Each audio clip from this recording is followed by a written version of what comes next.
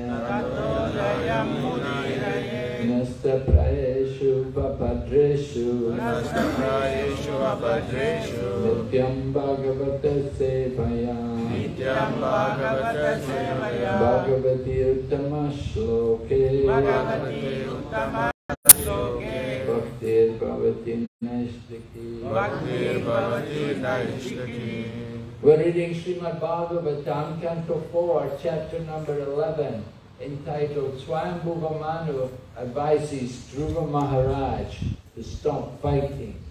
Text number 8. Nasmat kuchitam tata. Nasmatkuchitam tata. Nasmatkuchitam tata. Nasmatkuchitam tata. Karmaitat.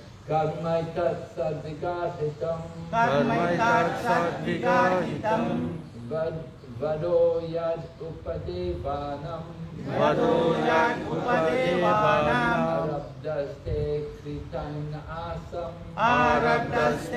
आरब्धनासम् नस्मत् तात।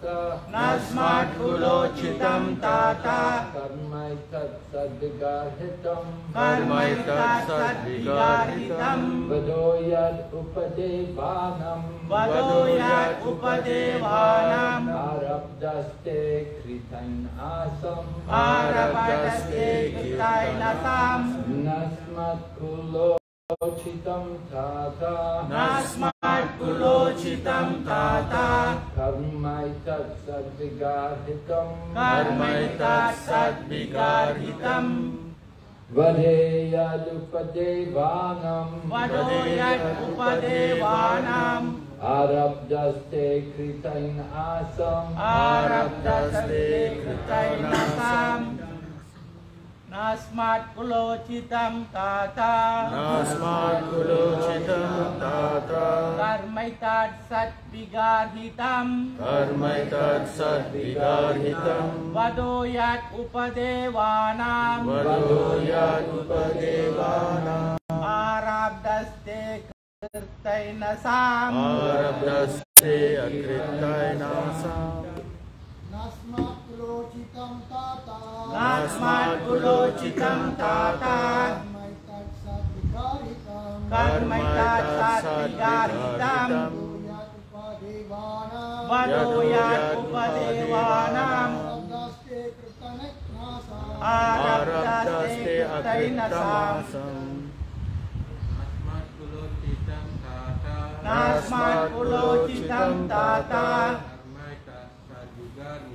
कर्मैतासद्विगार्हितम् वदो यत् उपदेवानम् वदो कृतैनसाम् भारतस्य कृतैनसाम्। नास्मात्कुलोचितं ताता नास्मात्कुलोचितं ताता कर्मैतत्सद्विगार्हितं कर्मैतत्सद्विगार्हितं वधूयादुपदेवानां वधूयादुपदेवानाम् आरब्धस्ते अकृत्तनासाम्। आरब्धस्ते कृतैनसाम् वैष्णवी। कर्मात्कुलोचितं दाता कर्मैकात् सात्विगार्हितम् वदो यात् उपदेवानाम्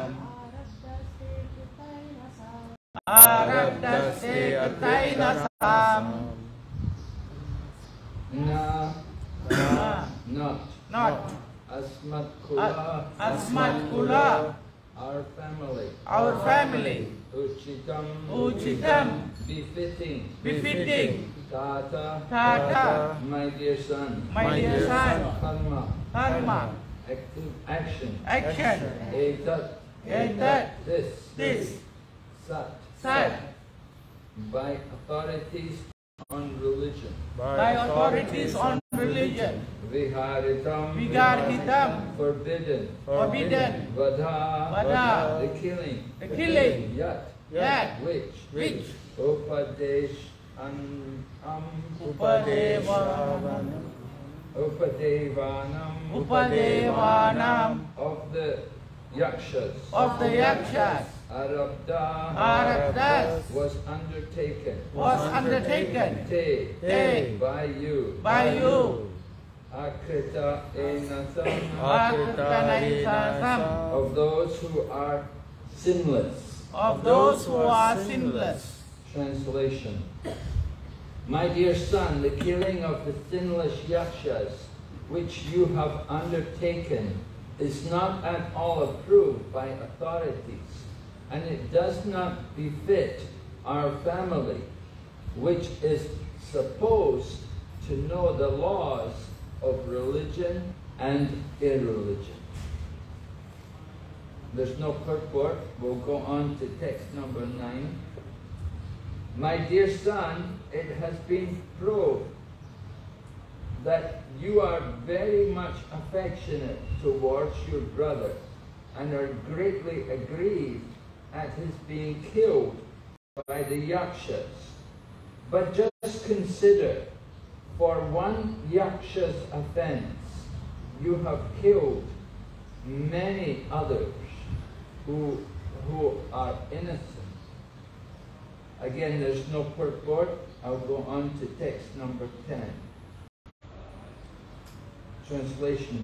One should not accept the body as the self, and thus, like the animals, kill the bodies of others.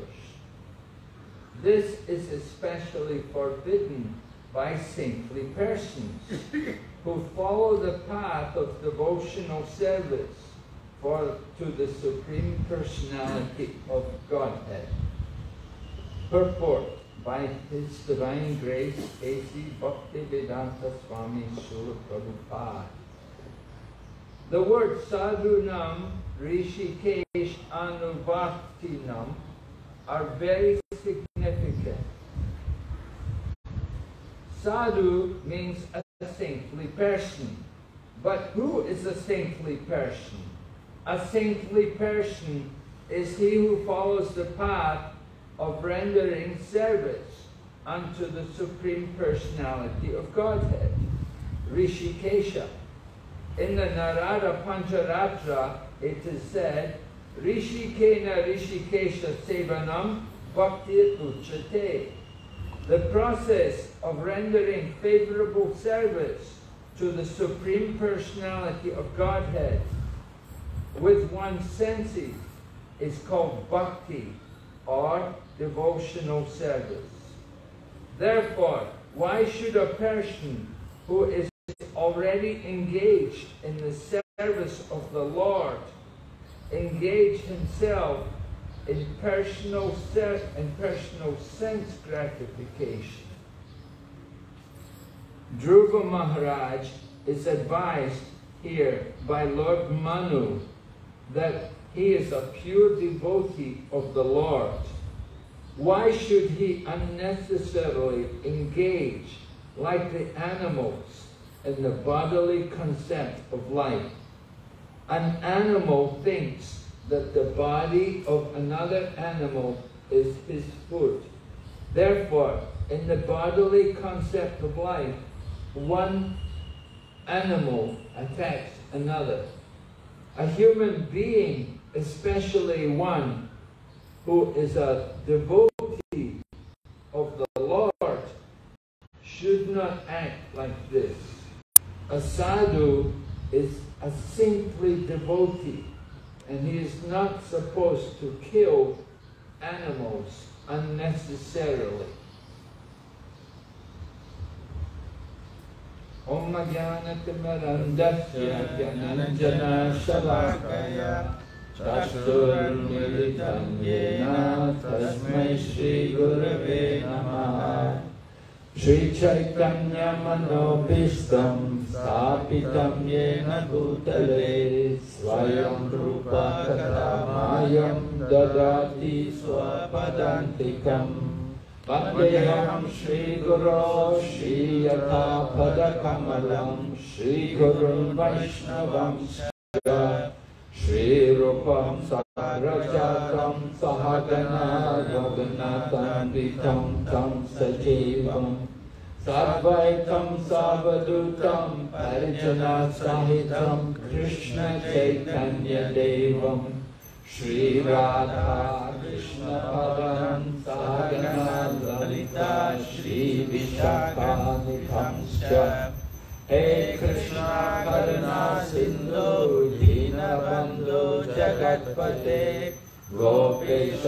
Shri Radha Krishna Padan Sahagana Lalita Shri Vishakanitamscha He Krishna Karuna Sindhu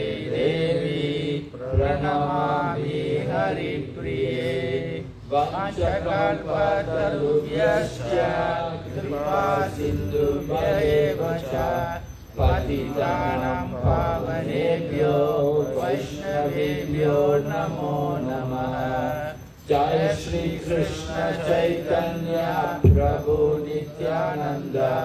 Shri Advaita Gadadhar श्रीवासरि गौरभक्तवृन्द Hare Krishna Hare Krishna Krishna Krishna Hare Hare Rama Hare Rama Rama Rama Hare Hare I'll just read the verse again. One should not accept the body as the self, and thus, like the animals, kill the bodies of others. This is especially forbidden by saintly persons who follow the path of devotional service to the Supreme Personality of Godhead. Swayambhuva Manu is instructing Dhruva Maharaj because Dhruva Maharaj had been engaged in the wholesale slaughter of many yakshas. The yakshas are living entities, just as we are living entities. The yakshas also are living entities. They're part of the creation of the Lord. And they have a right to live without being uh, persecuted unnecessarily. So Dhruva Maharaj was making war against the Yakshas because his, his brother had been killed by a Yaksha. It was an isolated incident that Dhruva Maharaj's brother Uttama had gone into the forest and somehow he had an encounter with a Yaksha and the Yaksha killed him. The Yakshas are very, they're powerful people. They have power, so it happened that one of them killed this brother of Dhruva Maharaj. So when that happened, Dhruva Maharaj made war against them and he was fighting with them and it was a great battle because the Yakshas had, they were using their mystic power to fight back. Anyway, Dhruva Maharaj was winning and he was killing a lot of people, but then Swayambhuva Manu, who is the grandfather of Dhruva Maharaj, he appeared. Swayambhuva Manu is one of the sons of Lord Brahma. And Swayambhuva Manu had two sons, uh, Uttanapada and Priyavrata. Right. So those were the two sons. So we are hearing about the Dhruva Maharaj, who is the son of Uttanapada. And it's described how Dhruva Maharaj after he'd become the king, after means he'd, he'd gone in as a young boy into the forest at the age of five, he'd gone into the forest and he, in six months, he was able to have darshan to meet with the Lord. And the Lord told him that in the future you're going to rule a planet. You're going to go to the pole star. The pole star is sometimes called Dhruva Loka because Dhruva Maharaj resides there. So you can see the pole star in the night, you'll see it's always in the same position, doesn't move. All the other planets are moving around. The sun is moving, one, the moon is moving, the different stars and constellations, they're all moving. But the pole star stays in that one place. And everything is rotating around the pole star. So Dhruva Maharaj was told that in the future you can go there and that will be your abode. Anyway, Dhruva Maharaj had, was only a young boy when he was told that, so he wasn't going, it wasn't going to happen immediately. So he went home, and then his father, after in course of time, his father gave the kingdom to Dhruva Maharaj, put Dhruva on the throne, and that was when his brother was killed. And Dhruva Maharaj retaliated against the Yakshas. So Swayambhuva Manu is not satisfied because he feels that Dhruva Maharaj has exceeded what was necessary. He'd given too much punishment. One Yaksha had killed his brother and Dhruva Maharaj was taking revenge against all the Yakshas. So Swayambhuva Manu was telling him that this kind of behavior, this is not good for our family name, right? The family name, the reputation is very important. The elders in the family are always concerned like that. They want to see the good name for their family. It means a lot to them. Although our birth in the family is only temporary, but still we're very attached to the bodily conception of life. And we think if we can have a good name for our family, then our life is successful. So, Manu is pointing out to Dhruva Maharaj that you should behave more like a sadhu. Sadhu meaning a saintly person. Actually, Dhruva Maharaj was a sadhu because without being a sadhu, he could never have had that meeting with the personality of Godhead. The Lord came riding on the back of Garuda and met Dhruva Maharaj when Dhruva Maharaj's meditation was successful. It took Dhruva Maharaj six months to perfect his meditation. But he did severe austerities. He did very powerful practice to get that blessing. And when the Lord came, then the Lord told Dhruva Maharaj, he told him that you're going to have to rule the world for 36,000 years. You're going to have to be the ruler. So, not a joke. you can imagine, just to be the temple president here, you could imagine the headaches you have, you know. So if you have to rule the world, you have to rule something 36,000 years, you could imagine all the problems you must have to face from time to time. Of course, you could say, well, it's enough time to get everything together, get everything nice and make it come good for everyone. But it's not just make it nice, it's keep it nice. That's the difficult thing. Just like building the temple and opening the temple, that is easier than maintaining the temple. The maintenance is the most difficult thing. And that is why Lord Vishnu maintains the universe. Brahma creates and Vishnu does the maintenance. So we're hearing about Swayambhuva Manu, how he is directing Dhruva Maharaj. Dhruva Maharaj is, uh, you know, he, he got very angry against the Yakshas and they had a great battle at times. But Dhruva Maharaj was always able to come out victorious because he's a devotee. And the Lord says in the Bhagavad Gita, Yatra Yogeshwaro Parto, Yatra Yogeshwaro Krishna, Yatra Parto Dhanurdara, Tatra Shri Vijayo Bhutir Dhruva Nitir Nitir Mana. Wherever there is Krishna, the master of all mistakes, and Arjuna, the expert bowman, there will be four things. Victory, morality, extraordinary power, and opulence. So victory is assured for the devotee. You just have to persevere. Of course, there will be obstacles, there will be challenges, there will be difficulties, but one has to be convinced, one has to have faith. You have to go on and fight against the enemy, against the Maya. So Dhruva Maharaj did that. He fought the Yakshas and he defeated them.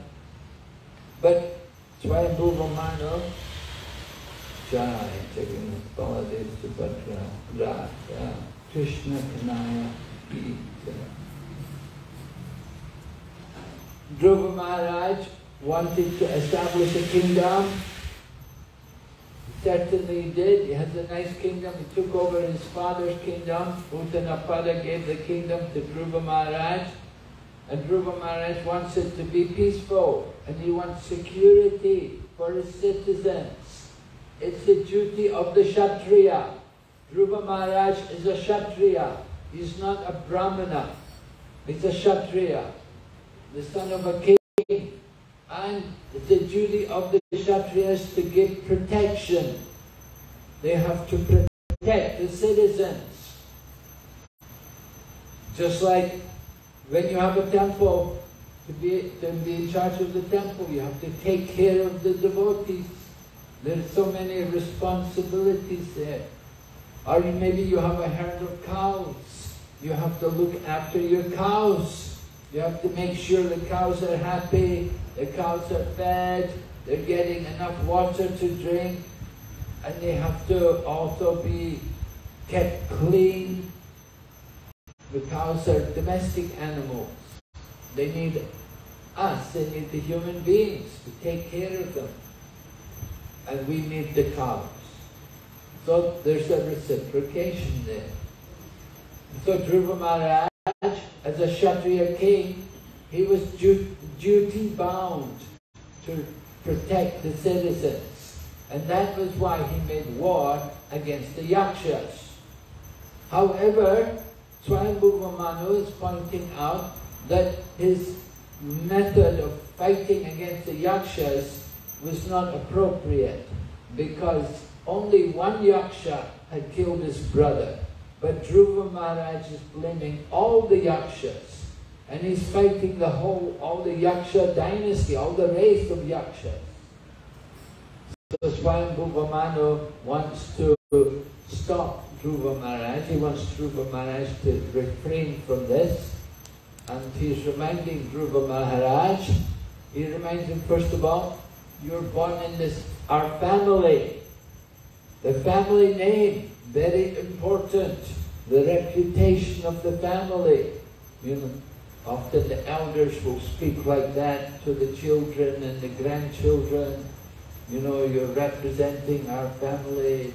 It means a lot. The family tradition, the family culture. So that's one thing he's been pointing out. Now he's pointing out also about the bodily conception of life. That in the bodily conception of life, you think someone is your enemy. But that is not the mood of a sadhu. And Dhruva Maharaj is a sadhu. He is a Kshatriya, but he is also a saintly person.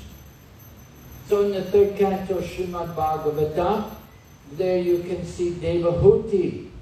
Devahuti was in confusion, she was in, in anxiety because her husband, Kardama, had gone away. Husband had gone away and taken sannyas. And the wife was, we were, what to do. She was feeling the separation naturally. She'd been with her husband and they'd enjoyed together for some time and they had nine daughters and one son. So they had children, but the husband decided, now that the wife has a child, I can go. I can go, I'm going to leave her. Because earlier Kardama had been a brahmachari and he practiced very strict renunciation and austerity as a brahmachari. For 10,000 years he did Astanga Yoga, Pranayama for 10,000 years. And then he got married. He accepted Devahuti as his wife. And then Devahuti, after some time, she wanted a child. So they, they went off and they, they rejuvenated themselves and Kardama created the aerial mansion which could fly everywhere. So they went to places of enjoyment, places where the demigods go to enjoy. Just like in the material, just like here, where do people go when they want to enjoy? They will go Cameron Highlands. Huh? Genting Highlands, yeah. Or maybe they'll go to Langkawi, uh, these kind of places. They go some kind of place to enjoy, you know. The mood is for enjoyment, for sense gratification. And uh, so Kardama Muni and Devahuti went to enjoy. They went to Mount Meru, where the demigods go to enjoy. And they enjoyed for a long time, and then they, they had the children, and then Kardama said, now I can go. He said, I've done my duty. My duty's over. Now I can go. And so Kardama Muni left Devahuti. So Devahuti had her son. They got the daughters married. All the women have to get married. And the, the, the, the nine daughters were all married. They were all given to nine sages. And Devahuti was left with her son. And of course she was fortunate that her son was no ordinary son, but he was an incarnation of the personality of Godhead. He was Kapila. And so Devahuti was inquiring for, from her son. Lord Brahma had told her earlier, Lord Brahma, is the father, Swayambhuva Manu, and so he was the grandfather. So Lord Brahma had told Devahuti, you will have a child who will be the incarnation of the personality of Godhead. So you can be guided by him, he can enlighten you. So Devahuti approached her son Kapila and she asked her son that how can I get relief from the this material atmosphere, this consciousness that I'm thinking I'm a woman. I'm in the bodily concept of life. How can I get rid of that concept? And Lord Kapila tells his mother, instead of being attached to the man who you thought was your husband, you have to become attached to a sadhu. You have to become attached to the saintly person. And then Lord Kapila went on to describe how to recognize the saintly person. What is the qualities of the saintly person? And that's where you have the verse, uh, Titikshava Suridam Sarvadehinam Ajata Shatrava Shantu Sadhava Sadhu Bhushana. So Lord Kapila describes the ornaments, sadhu bhushana, the ornaments of the sadhu. Just like the women will decorate themselves with ornaments. The deities are dressed with ornaments. So the same way a sadhu has also ornaments. But the ornaments are not just some decorate, some uh, jewel or something. The ornament are the qualities which he will display. So titikshava, tolerance, and titikshava karunika, mercy. The, the sadhu has to tolerate a lot of difficulties. Just like Haridas Thakur was a great sadhu. He tolerated being beaten in the mar- 22 marketplaces. And Lord Jesus Christ was also sadhu, that he tolerated being crucified. Lord Nityananda tolerated being struck on the head by the drunkard. Jagai, Madhai, they attacked him and hit him with the wine bottle and drew blood from his head. Lord Nityananda tolerated. So it is the business of the sadhu that he is tolerant. He does he will put up with these kind of difficulties. He understands that this is the nature of the sometimes people think, oh people today are so bad, how can we preach? Nobody's interested. Everybody's a demon. All demonic people. But we shouldn't think like that. We should think because they are fallen, that's why we have to preach. And we have to preach more vigorously. And we have to be more concerned how to deliver the fallen souls. Not that we think, oh, they're so, they're so fallen, I won't bother to preach. No point to preach. I'm not going to go for Sankirtan.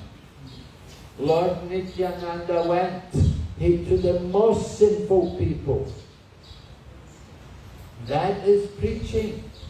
Prabhupada went to the most sinful place, New York. The most hellish place, horrible place, the rotten apple. They call it the big apple, it's the big rotten apple. Such a horrible place.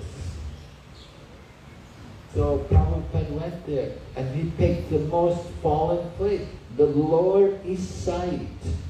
The lower east side, Prabhupada went to this area where people were all living in the street and they were drunkards and drug addicts and it was so degrading.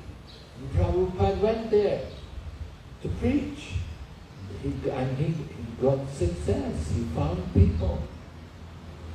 So, as devotees, you know, we also have to be uh, more bold like that. We have to have that boldness to go forward, to go there, to go to these places and try to give Krishna consciousness. Of course, it won't be easy, but we have to have faith. And so devotees will take on these things. But Prabhupada was talking to devotees about going to places to preach, and the devotees were saying to Prabhupada, they said, oh, Prabhupada is very, very degraded, is very fallen. I don't think it would be any good. Yeah, it was also degraded and very fallen when I went there also. But you shouldn't think because it's all very fallen, very degraded, because we won't go there. Raj devotee will go everywhere. We have to go everywhere to give Krishna consciousness. We don't think who's qualified and who's not. The Panchatattva distributed Krishna consciousness indiscriminately. They did not make distinction who is qualified and who is not. Young men, old men, women and children, everyone is qualified for the mercy of the Panchatattva.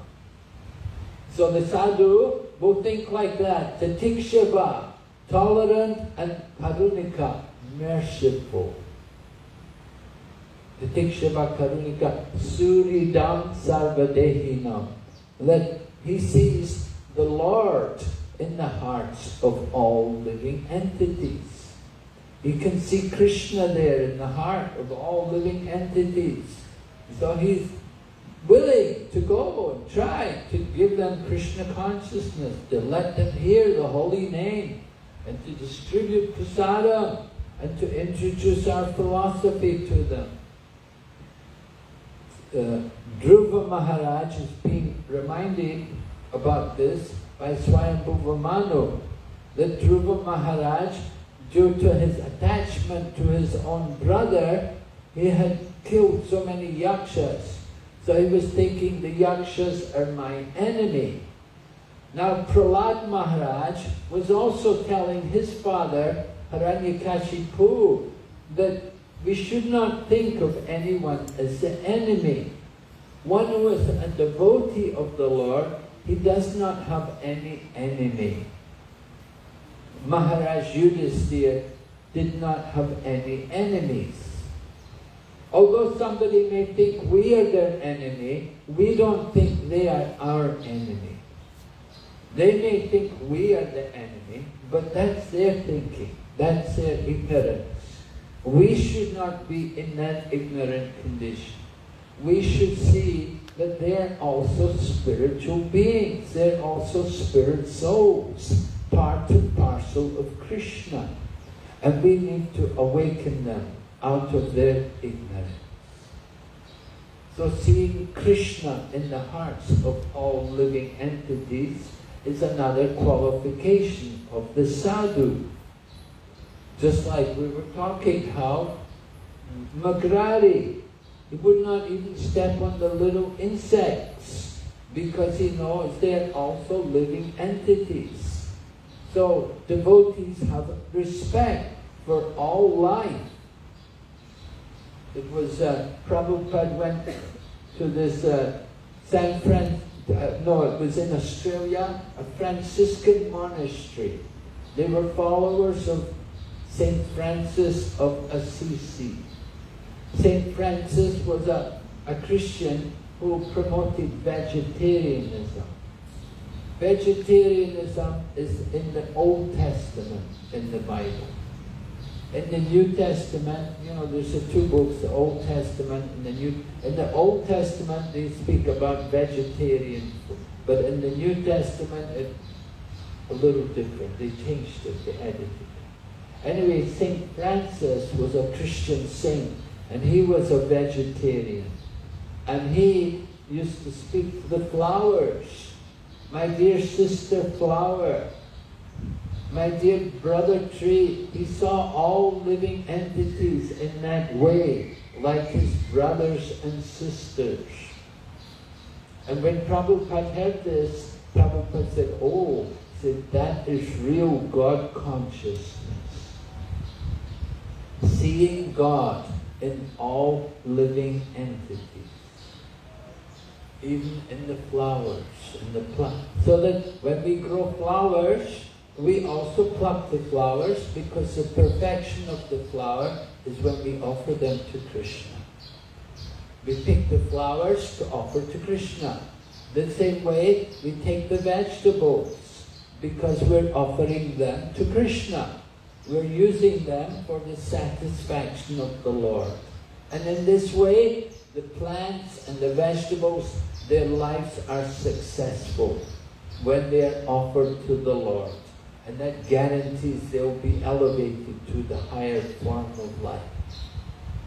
So the sadhu thinks like that. He thinks about the welfare of all living entities.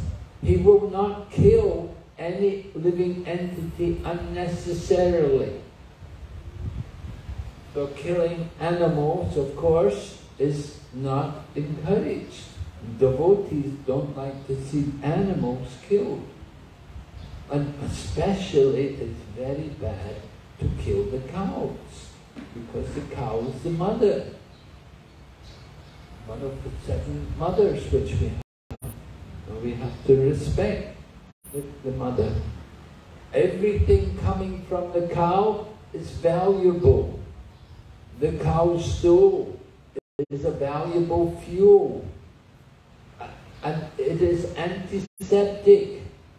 If you have some infection, some you can put cow dung on, it's antiseptic. It will have a healing effect. People don't know. They go to doctors, or they buy costly ointments and things. Actually, you could just take the gifts of nature there, the cow dung, and you put the cow dung on the skin, and it will heal very nicely.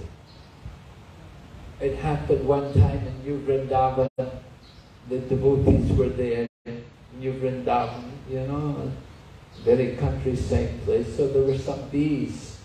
So couple of devotees, they got stung by these bees.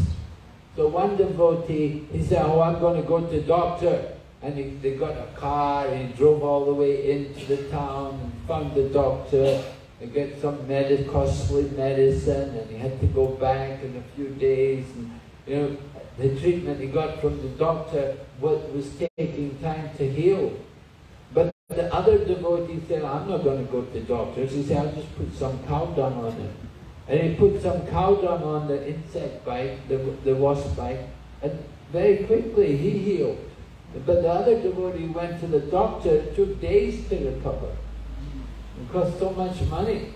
The other devotee went, just used cow dung, didn't spend any money, got better quickly.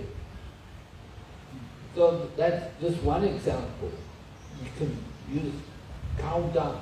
Cow dung, cow urine, very valuable medicine, good for the liver. You drink some cow urine, it's very good for health. Oh, I don't like, oh, it's not nice taste. We want sugar, we want sweet. Hmm. We don't like to drink the cow dung, but the cow dung, the cow urine, very good. And there are so many things you can make from the cow urine. And in India, they're selling these different products from the cow, toothpaste and soap and different medicines which are there. And then, of course, ghee. You want to do yagya, you have to have ghee. And where do you get ghee from? You get the ghee from milk. And milk is not goat's milk. We don't use goat's milk. We don't use camel's milk. We use, it has to be cow's milk. Sometimes people are very silly. They think, what's the difference? Goat's milk. Yeah, go ahead, drink it and see. No benefit. Just dull the brain. You'll become a dull goat. But you drink cow's milk, if you get a good brain, you can understand spiritual knowledge.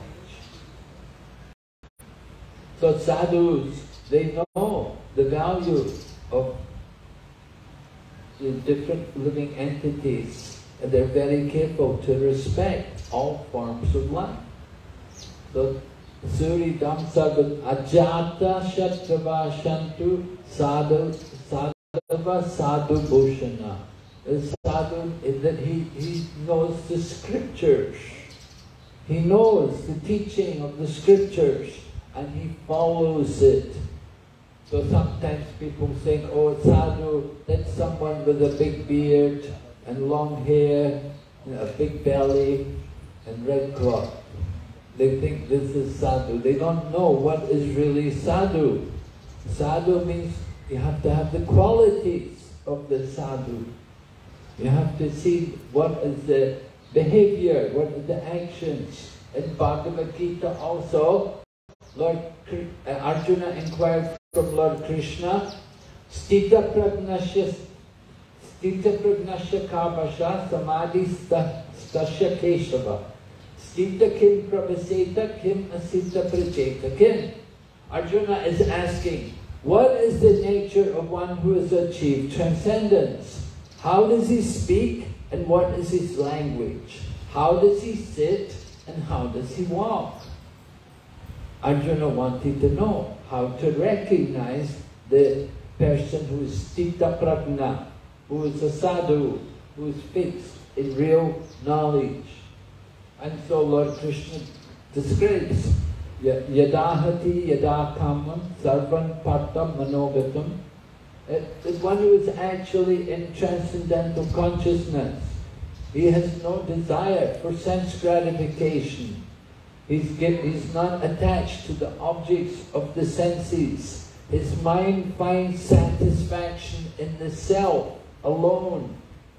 He doesn't look for satisfaction in the senses, but his satisfaction comes from within. So that is sadhu.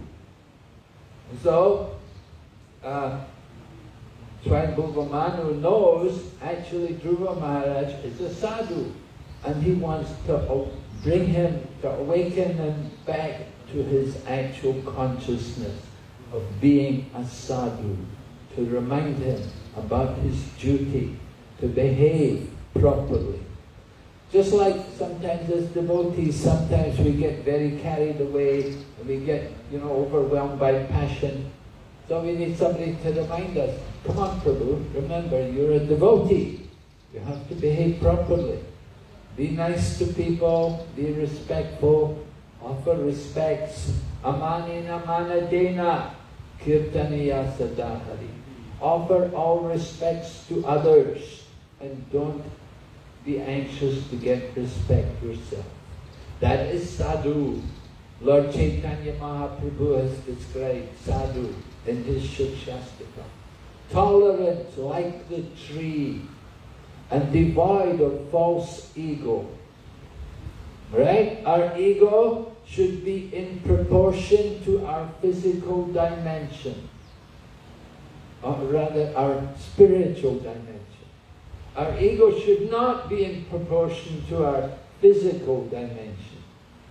Physical dimension, my ego, you know, whatever height you are, whatever weight you are, you have that ego. But our actual ego should be according to our spiritual dimension. What is your spiritual dimension, Janavi? Do you know? Do you not know your spiritual dimension? You do.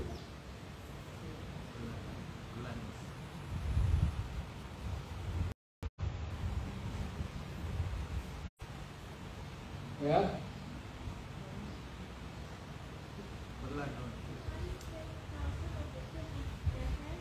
Yes, right. Very good. One ten thousand of the tip of the hair. Very one hundred of one hundred tip of a hair. Very small. That should be our ego. That is sadhu. Hmm? That is Krishna consciousness. So Dhruva Maharaj is getting good instruction from Swami Manu. Are there any questions? Yes? Hare Krishna Guru Maharaj. Uh, when they say satisfaction in the self, does that mean also satisfaction in devotional service? Yes? If you're doing devotional service, you should be satisfied.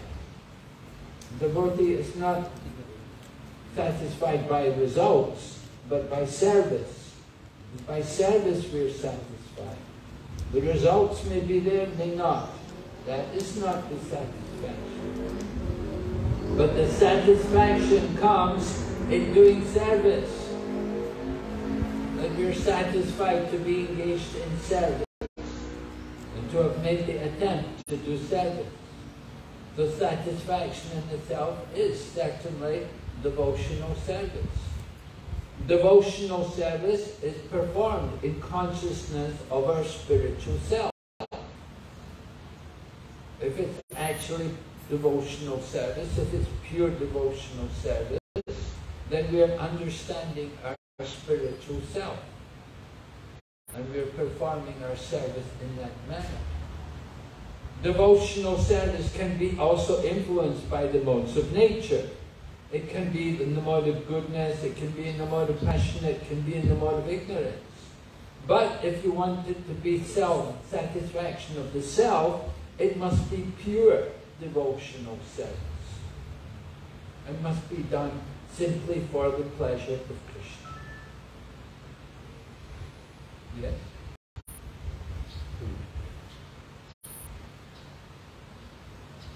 Hare Krishna Guru Maharaj.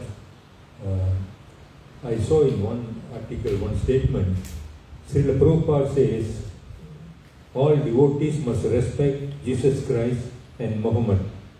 But we understand Jesus Christ has been tolerating on the crucifixion everything. But Prophet Muhammad, he was giving a statement of we must annihilate all the kafir and all this. So how do we take Prophet Muhammad into this kind of uh, consideration?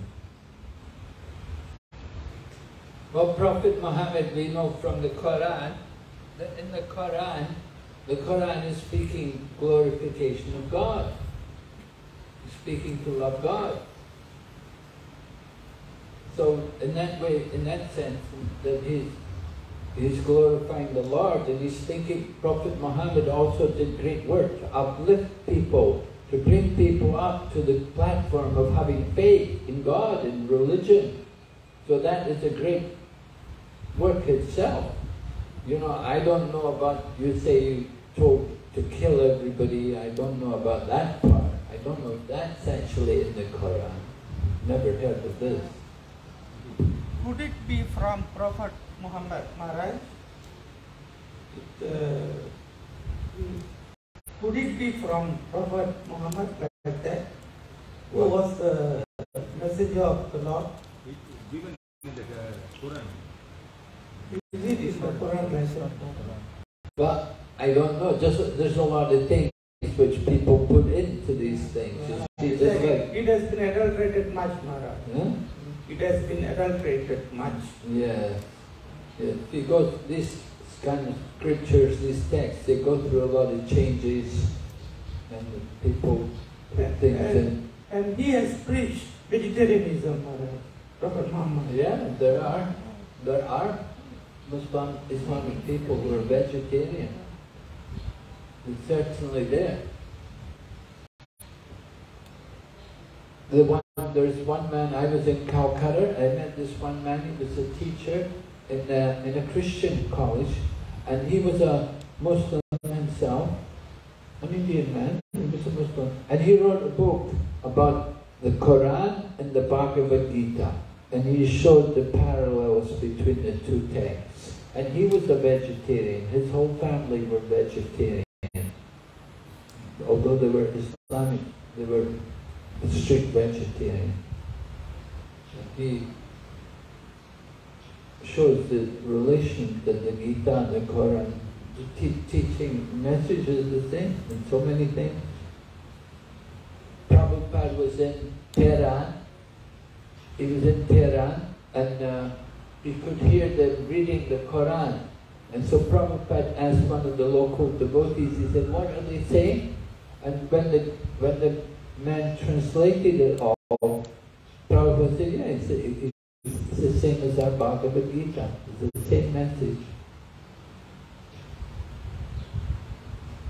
So there are many, many, many similarities. But sometimes people put sectarian ideas into these things, you know? Like things like, you know, people become fanatical and talk about killing everybody who doesn't surrender. But that is not necessarily the mood. The, problem here, we following Prabhupada's teaching, Prabhupada's books, And Bhagavad Gita also adulterated by many people. But those who are reading Bhagavad Gita, following Prabhupada's advice, books and everything, 100% looks like very calm, peaceful, do not disturb others and all kind of things. Whereas when we look into the Quran, even though it is a change, whatever it is, majority, 99.99% is behaving in a different direction and telling to us, you are kafir, you are not respecting my Allah, I need to kill. That kind of statement is coming up very strongly. So does that mean Prophet has given the word kafir for demons or non-believers of Islam? Well, I think you're making very big uh, generalizations there to say 99% like that, you know. I mean, I, I don't know how true that can be, you know. And Prabhupada said himself, the Islamic people and the Hindu people, they lived together for many years together. They lived together with each other side by side. And there was no problem. But the problems were created by politicians. You get politicians who stir things up, people, and they influence the minds of the innocent people. So, generally, people can, you know, people will, they may be of different faiths, but they can live together. And there's a need for people who have faith in God no matter what their religion, what their faith is, there's a need for them to come together and to come out and to chant the holy name. So, we have to see the good things, you know, you talking about false this and the people want to kill everybody and you know, that is fanatical people. But not everybody is like that most people are God loving, they're peaceful, they just want a peaceful life, they just want to live here in this world and have their family and, and live peacefully and do their work and just be happy. They don't want to go around killing everybody. There's only a few mad people like that who are fanatic. but that's not the general mode.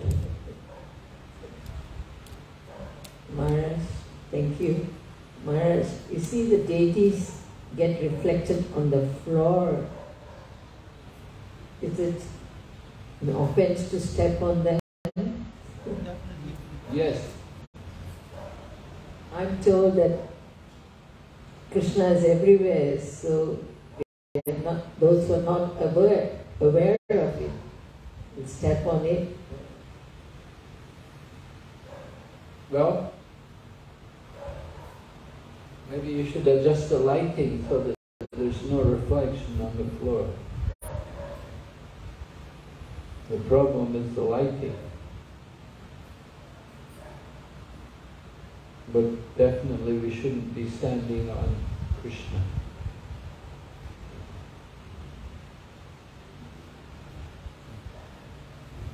But other Guru Maharaj that uh, what I can see, they almost uh, hurting Krishna or uh, I don't know what kind of word we going to use, blaspheming word.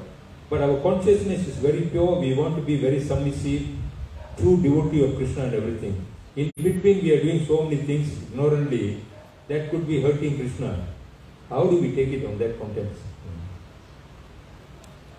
It could be hurting Krishna. Yeah, because there are so many, like what Mataji says, we are stepping on the floor, but cannot be avoided situation. Uh, Not- during the festival, in- big lights, everybody uh, walking here and there. But Intention. uh, the, our desire is to serve Krishna and uh, The, the fear and everything is there. Would that be uh, Well, if you have the desire to serve Krishna, that's the main thing. Certainly Krishna knows that. Krishna knows what is the mood, what is the mood of the devotee. So Krishna will tolerate. If the devotee has that sincere desire, he just wants to serve Krishna. That's the main thing. Krishna knows our heart. Guru Maharaj, could you explain what is meant by tolerance and what is not tolerance so we can understand? What is meant by tolerance? Well, uh, in the Bhagavad Gita, Lord Krishna describes heat and cold and happiness and distress. We should tolerate them without being disturbed. Right? So tolerance means to put up with some kinds of inconvenience. Things, sometimes things are not very convenient, not very pleasing. And Prabhupada gives examples. He talks about cooking in the summer when it's very hot. So to go into the kitchen and cook it's not very, comfortable. yeah, it's not very, please, it's that- not something you really want to do, you know. Oh, it's so hot, I have to go in the kitchen, I have to stand over a hot stove. Oh, you know, not everybody wants to do it. But mother will do it because she has to cook for her family. And similarly, taking bath in the winter. They take bath in the winter, not everywhere do they have hot water. But still you take bath. Even though there's no hot water, and still you take bath. Just like if you go to Kumbh Mela. If you go to the Kumbh Mela, it's in the month of March means January, mid-January to mid-February. It's the coldest time of the year. So if you go to the Kumbh Mela and you're camping out there at the Kumbh Mela and you have to go, the, the auspicious time comes, you know, you go into the Yamuna and take bath there. The Ganga and the Yamuna, you go in there and you take your bath. You don't think, oh, oh, it's so cold. No, you, you don't think about it. You just go in there, you know. And so similarly, you have to serve the deities. You have to do your puja. You have to take bath. It's cold, but you tolerate a little inconvenience. So that is tolerance. You put up with things which are not so pleasing to our mind and senses. So tolerant, being tolerant. And sometimes we have to tolerate the difficulties which come. People may abuse us and say nasty things that, oh, you Hare Krishna, you people, you're always coming, disturbing us. You're always coming, begging money from us and this and that. You know, oh my goodness, you people, uh, you know, like that. So you have to tolerate sometimes harsh words, unkind words, words which are not very pleasing. But devotee will tolerate that for the higher purpose. The higher purpose being for the service of Krishna. So that is tolerance. We will put up with the difficulties. So, waking up early in the morning, oh, especially in the winter, you don't want to get up in the morning, but we will do it because it's purifying. And Krishna wants to see us at the Mangal Arti. Krishna wants to see us there in the temple. So Krishna is pleased when he sees the devotees are there. The devotee will tolerate a little inconvenience for the pleasure of Krishna.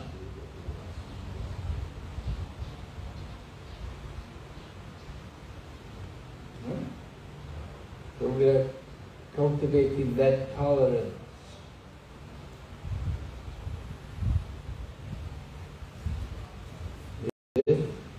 Any other point? Okay, so we will stop here. Thank you. Hare Krishna, Srimad Bhagavatam ki Jai. Guru Prabhupada ki Jai. Service Bhakti Vighna Vinasa Narasimha Maharaj ki. Jai. Hare Krishna is like to thank Maharaj. Then Maharaj will be leaving uh, after breakfast to Tilointan. So be a program Tilointan and Baha later. And then Maharaj will be going to Malacca Radiyatya.